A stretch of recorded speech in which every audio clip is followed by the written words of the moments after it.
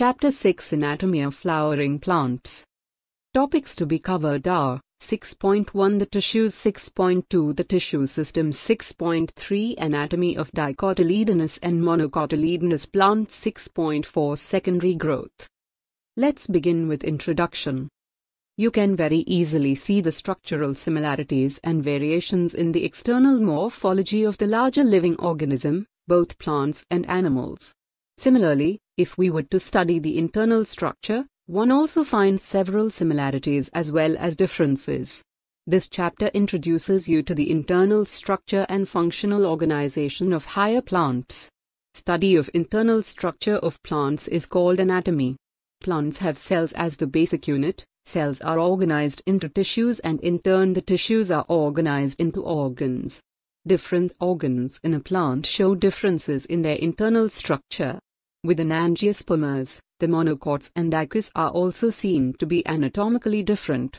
Internal structures also show adaptations to diverse environments. 6.1 The tissues. A tissue is a group of cells having a common origin and usually performing a common function. A plant is made up of different kinds of tissues. Tissues are classified into two main groups, namely, meristematic and permanent tissues based on whether the cells being formed are capable of dividing or not. Type 1 Meristematic tissues. Growth in plants is largely restricted to specialized regions of active cell division called meristems, from Greek word meristos means divided. Plants have different kinds of meristems. The meristems which occur at the tips of roots and shoots and produce primary tissues are called apical meristems. Root apical meristem occupies the tip of a root while the shoot apical meristem occupies the distant-most region of the stem axis. During the formation of leaves and elongation of stem, some cells left behind from shoot apical meristem constitute the axillary bud. Such buds are present in the axils of leaves and are capable of forming a branch or a flower. The meristem which occurs between mature tissues is known as intercalary meristem. They occur in grasses and regenerate parts removed by the grazing herbivores. Both apical meristems and intercalary meristems are primary meristems because they appear early in life of a plant and contribute to the formation of the primary plant body. The meristem that occurs in the mature regions of roots and shoots of many plants, particularly those that produce woody axis and appear later than primary meristem is called the secondary or lateral meristem. They are cylindrical meristems. Fascicular vascular cambium, interfascicular cambium and cork cambium are examples of lateral meristems. These are responsible for producing the secondary tissues. Following divisions of cells in both primary and as well as secondary meristems, the newly formed cells become structurally and functionally specialized and lose the ability to divide. Such cells are termed permanent or mature cells and constitute the permanent tissues. During the formation of the primary plant body, specific regions of the apical meristem produce dermal tissues, ground tissues and vascular tissues. Type 2 Permanent tissues. The cells of the permanent tissues do not generally divide further. Permanent tissues having all cells similar in structure and function are called simple tissues. Permanent tissues having many different types of cells are called complex tissues. First type of permanent tissue is Simple tissues. A simple tissue is made of only one type of cells. The various simple tissues in plants are parenchyma, collenchyma and sclerenchyma. Parenchyma forms the major component within organs. The cells of the parenchyma are generally isodiametric. They may be spherical, oval, round, polygonal or elongated in shape. Their walls are thin and made up of cellulose. They may either be closely packed or have small intercellular spaces. The parenchyma performs various functions like photosynthesis, storage, secretion. The collenchyma occurs in layers below the epidermis in dicotyledonous plants. It is found either as a homogeneous layer or in patches. It consists of cells which are much thickened at the corners due to a deposition of cellulose, hemicellulose and pectin. Collenchymatous cells may be oval, spherical or polygonal and often contain chloroplasts. These cells assimilate food when they contain chloroplasts. Intercellular spaces are absent. They provide mechanical support to the growing parts of the plant such as young stem and petiole of a leaf. Sclerenchyma consists of long, narrow cells with thick and lignified cell walls having a few or numerous pits. They are usually dead and without protoplasts. On the basis of variation in form, structure, origin and development, sclerenchyma may be either fibers or sclerids. The fibers are thick-walled, elongated and pointed cells, generally occurring in groups, in various parts of the plant. The sclerids are spherical, oval or cylindrical, highly thickened dead cells with very narrow cavities, lumen. These are commonly found in the fruit walls of nuts, pulp of fruits like guava, pear and sapota, seed coats of legumes and leaves of tea. Sclerenchyma provides mechanical support to organs. Now second type of permanent tissue, complex tissues. The complex tissues are made of more than one type of cells and these work together as a unit. Xylem and phloem constitute the complex tissues in plants. Xylem functions as a conducting tissue for water and minerals from roots to the stem and leaves. It also provides mechanical strength to the plant parts.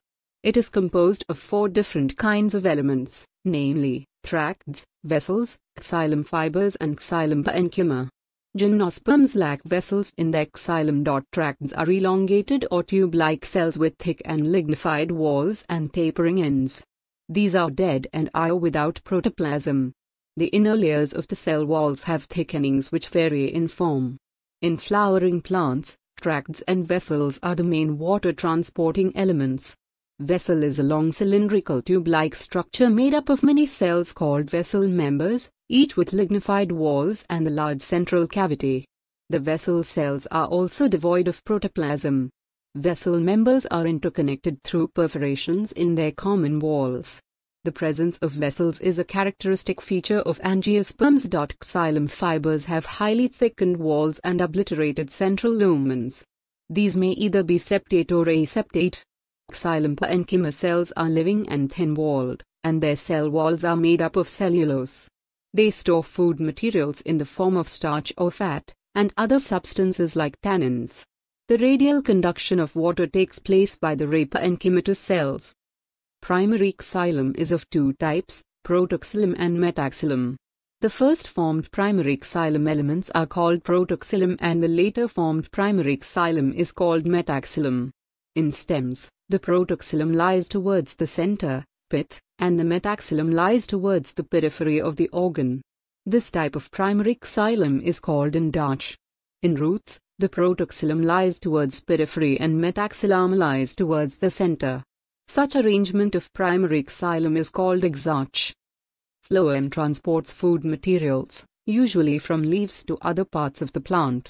Phloem in angiosperms is composed of sieve tube elements companion cells, phloem parenchyma and phloem fibers.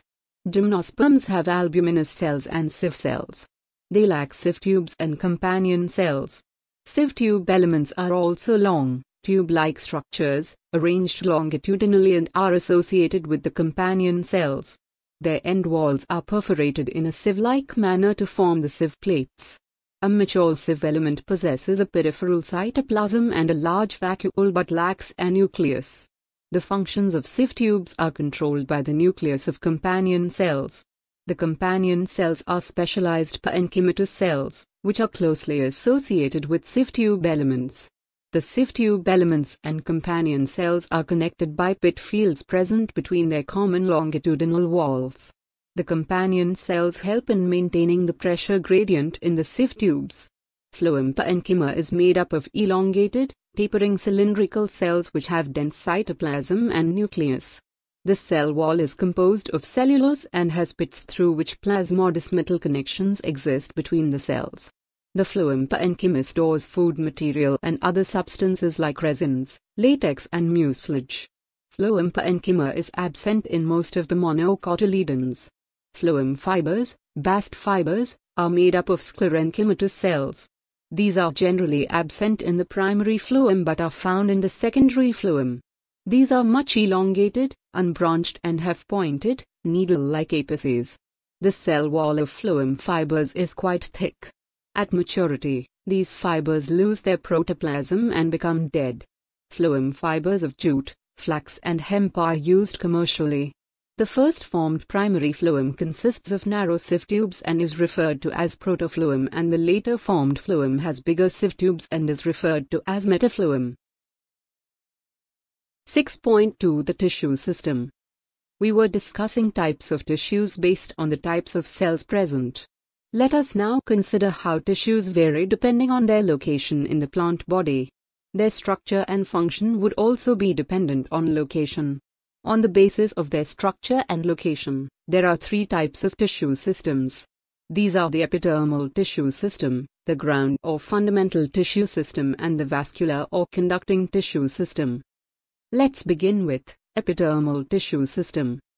The epidermal tissue system forms the outermost covering of the whole plant body and comprises epidermal cells, stomata and the epidermal appendages, the trichomes and hairs. The epidermis is the outermost layer of the primary plant body. It is made up of elongated, compactly arranged cells, which form a continuous layer. Epidermis is usually single-layered, Epidermal cells are parenchymatous with a small amount of cytoplasm lining the cell wall and a large vacuole. The outside of the epidermis is often covered with a waxy thick layer called the cuticle which prevents the loss of water. Cuticle is absent in roots. Stomata are structures present in the epidermis of leaves. Stomata regulate the process of transpiration and gaseous exchange. Each stoma is composed of two bean-shaped cells known as guard cells which enclose stomatal pore. In grasses, the guard cells are dumbbell-shaped. The outer walls of guard cells, away from the stomatal pore, are thin and the inner walls, towards the stomatal pore, are highly thickened. The guard cells possess chloroplasts and regulate the opening and closing of stomata. Sometimes, a few epidermal cells, in the vicinity of the guard cells become specialized in their shape and size and are known as subsidiary cells. The stomatal aperture, guard cells and the surrounding subsidiary cells are together called stomatal apparatus. The cells of epidermis bear a number of hairs. The root hairs are unicellular elongations of the epidermal cells and help absorb water and minerals from the soil. On the stem the epidermal hairs are called trichomes. The trichomes in the shoot system are usually multicellular. They may be branched or unbranched and soft or stiff. They may even be secretory. The trichomes help in preventing water loss due to transpiration. Next is the ground tissue system. All tissues except epidermis and vascular bundles constitute the ground tissue. It consists of simple tissues such as parenchyma, collenchyma and sclerenchyma. Parenchymatous cells are usually present in cortex, pericycle, pith and medullary rays, in the primary stems and roots. In leaves, the ground tissue consists of thin-walled chloroplast containing cells and is called mesophyll. Lastly, the vascular tissue system. The vascular system consists of complex tissues, the phloem and the xylem. The xylem and phloem together constitute vascular bundles. In dicotyledonous stems, cambium is present between phloem and xylem. Such vascular bundles because of the presence of cambium possess the ability to form secondary xylem and phloem tissues, and hence are called open vascular bundles. In the monocotyledons, the vascular bundles have no cambium present in them. Hence, since they do not form secondary tissues, they are referred to as closed. When xylem and phloem within a vascular bundle are arranged in an alternate manner on different radii, the arrangement is called radial such as in roots. In conjoint type of vascular bundles, the xylem and phloem are situated at the same radius of vascular bundles. Such vascular bundles are common in stems and leaves. The conjoint vascular bundles usually have the phloem located only on the outer side of xylem. 6.3 Anatomy of dicotyledonous and monocotyledonous plants. For a better understanding of tissue organization of roots, stems and leaves, it is convenient to study the transverse sections of the mature zones of these organs. First, dicotyledonous root. Let's see transverse section of sunflower root. The internal tissue organization is as follows. The outermost layer is epidermis, Many of the epidermal cells protrude in the form of unicellular root hairs. The cortex consists of several layers of thin-walled parenchyma cells with intercellular spaces. The innermost layer of the cortex is called endodermis. It comprises a single layer of barrel-shaped cells without any intercellular spaces. The tangential as well as radial walls of the endodermal cells have a deposition of water-impermeable, waxy material suberin in the form of Casparian strips. Next to endodermis lies a few layers of thick-walled parenchymatous cells referred to as pericycle. Initiation of lateral roots and vascular cambium during the secondary growth takes place in these cells. The pith is small or inconspicuous. The parenchymatous cells which lie between the xylem and the phloem are called conjunctive tissue. There are usually two to four xylem and phloem patches. Later, a cambium ring develops between the xylem and phloem. All tissues on the inner side of the endodermis such as pericycle, vascular bundles and pith constitute the stele. Next is monocotyledonous root. The anatomy of the monocot root is similar to the dicot root in many respects. It has epidermis, cortex, endodermis, pericycle, vascular bundles and pith. As compared to the dicot root which have fewer xylem bundles, there are usually more than six polyarch xylem bundles in the monocot root. Pith is large and well developed. Monocotyledonous roots do not undergo any secondary growth. Moving to stem. First, dicotyledonous stem. The transverse section of a typical young dicotyledonous stem shows that the epidermis is the outermost protective layer of the stem. Covered with a thin layer of cuticle, it may bear trichomes and a few stomata. The cells arranged in multiple layers between epidermis and pericycle constitute the cortex. It consists of three subzones. The outer hypodermis consists of a few layers of parenchymatous cells just below the epidermis, which provide mechanical strength to the young stem. Cortical layers below hypodermis consist of rounded thin-walled parenchymatous cells with conspicuous intercellular spaces. The innermost layer of the cortex is called the endodermis.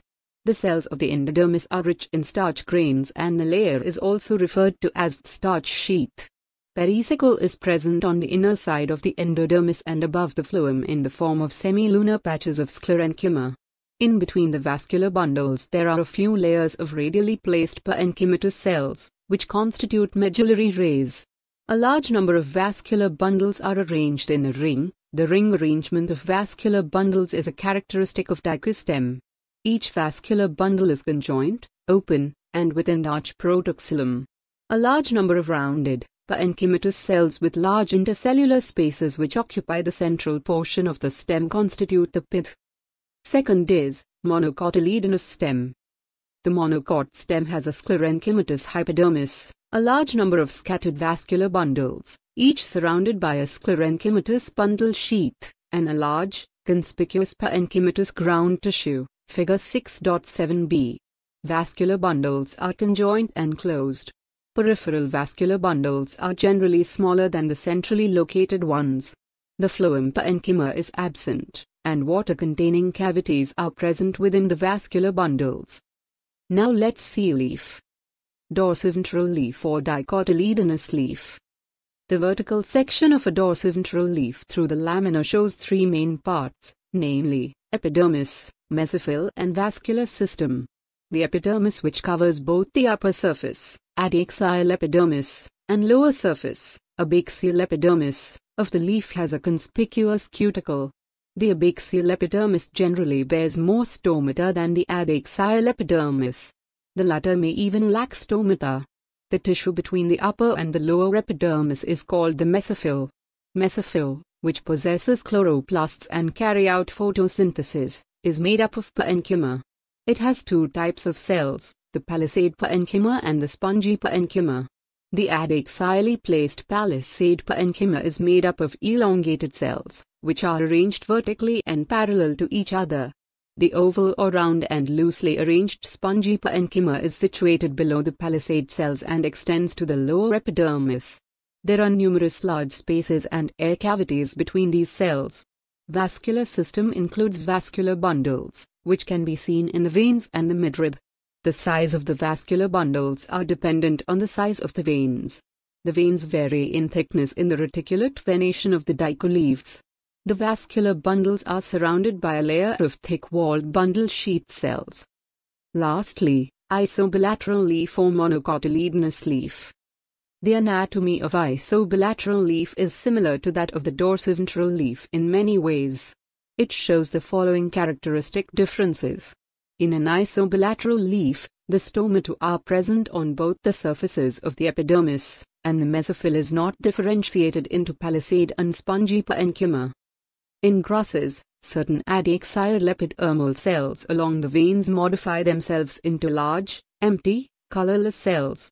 These are called bulliform cells. When the bulliform cells in the leaves have absorbed water and are turgid, the leaf surface is exposed. When they are flaccid due to water stress, they make the leaves curl inwards to minimize water loss. The parallel venation in monocot leaves is reflected in the near similar sizes of vascular bundles, except in main veins, as seen in vertical sections of the leaves. 6.4 Secondary growth The growth of the roots and stems in length with the help of apical meristem is called the primary growth. Apart from primary growth most dicotyledonous plants exhibit an increase in girth. This increase is called the secondary growth. The tissues involved in secondary growth are the two lateral meristems, vascular cambium and cork cambium. Let's begin with vascular cambium. The meristematic layer that is responsible for cutting off vascular tissues, xylem and phloem, is called vascular cambium. In the young stem it is present in patches as a single layer between the xylem and phloem. Later it forms a complete ring. Let's see, formation of cambial ring. In dicot stems, the cells of cambium present between primary xylem and primary phloem is the intrafascicular cambium. The cells of medullary rays, adjoining these intrafascicular cambium become meristematic and form the interfascicular cambium. Thus, a continuous ring of cambium is formed. Now, activity of the cambial ring. The cambial ring becomes active and begins to cut off new cells, both towards the inner and the outer sides. The cells cut off towards pith mature into secondary xylem and the cells cut off towards periphery mature into secondary phloem. The cambium is generally more active on the inner side than on the outer. As a result, the amount of secondary xylem produced is more than secondary phloem and soon forms a compact mass. The primary and secondary phloems get gradually crushed due to the continued formation and accumulation of secondary xylem. The primary xylem however remains more or less intact, in or around the center. At some places, the cambium forms a narrow band of parenchyma, which passes through the secondary xylem and the secondary phloem in the radial directions. These are the secondary medullary rays. Compare springwood and autumnwood. The activity of cambium is under the control of many physiological and environmental factors. In temperate regions, the climatic conditions are not uniform through the year. In the spring season, cambium is very active and produces a large number of xylary elements having vessels with wider cavities. The wood formed during this season is called springwood or early wood. In winter, the cambium is less active and forms fewer xylary elements that have narrow vessels, and this wood is called autumn wood or late wood. The spring wood is lighter in color and has a lower density whereas the autumn wood is darker and has a higher density. The two kinds of woods that appear as alternate concentric rings constitute an annual ring. Annual rings seen in a cut stem give an estimate of the age of the tree. Next compare heartwood and sapwood. In old trees, the greater part of secondary xylem is dark brown due to deposition of organic compounds like tannins, resins, oils, gums, aromatic substances and essential oils in the central or innermost layers of the stem. These substances make it hard, durable and resistant to the attacks of microorganisms and insects. This region comprises dead elements with highly lignified walls and is called heartwood. The heartwood does not conduct water but it gives mechanical support to the stem. The peripheral region of the secondary xylem is lighter in color and is known as the sapwood. It is involved in the conduction of water and minerals from root to leaf. Next is cork cambium. As the stem continues to increase in girth due to the activity of vascular cambium, The outer cortical and epidermis layers get broken and need to be replaced to provide new protective cell layers. Hence, sooner or later, another meristematic tissue called cork cambium or phellogen develops, usually in the cortex region. Phellogen is a couple of layers thick. It is made of narrow, thin-walled and nearly rectangular cells. Phellogen cuts off cells on both sides. The outer cells differentiate into phellem while the inner cells differentiate into secondary cortex or phelloderm. The cork is impervious to water due to suberin deposition in the cell wall. The cells of secondary cortex are parenchymatous. Phellogen, phellem, and phelloderm are collectively known as periderm. Due to activity of the cork cambium, pressure builds up on the remaining layers peripheral to phellogen and ultimately these layers die and slough off. Bark is a non-technical term that refers to all tissues exterior to the vascular cambium, therefore including secondary phloem. Bark refers to a number of tissue types, viz., periderm and secondary phloem. Bark that is formed early in the season is called early or soft bark. Towards the end of the season, late or hard bark is formed. Name the various kinds of cell layers which constitute the bark. At certain regions, the phellogen cuts off closely arranged parenchymatous cells on the outer side instead of cork cells. These parenchymatous cells soon rupture the epidermis, forming a lens-shaped openings called lenticels. Lenticels permit the exchange of gases between the outer atmosphere and the internal tissue of the stem. These occur in most woody trees. Lastly, secondary growth in roots. In the dicot root, the vascular cambium is completely secondary in origin. It originates from the tissue located just below the phloem bundles, a portion of pericycle tissue, above the protoxylem forming a complete and continuous wavy ring, which later becomes circular. Further events are similar to those already described above for a dicotyledon stem. Secondary growth also occurs in stems and roots of gymnosperms. However, secondary growth does not occur in monocotyledons.